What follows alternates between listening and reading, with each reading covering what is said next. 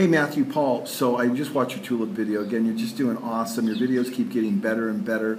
I noticed one thing that's going to help you a lot that sometimes when you go from one clip to the next clip, particularly when you put in a photograph after it, that some of your audio gets cut off. And the reason that happens is this is a transition, that little thing right there on iMovie, and it's normally set to cross dissolve, and I think it's set at 1 or 1.5, I can't remember.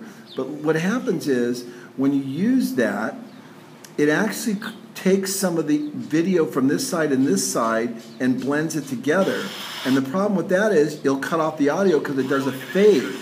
So the way you solve that problem whenever it does do that and you didn't leave enough of a clip is you simply just clip on the transition and change it to either none or change it back to a cross dissolve and only do it to 0.5 seconds and that will solve your problem and you'll have a really good effect. You'll have the exact effect that you want. Amazing job, very inspiring. Thanks, you guys. Okay, there you go.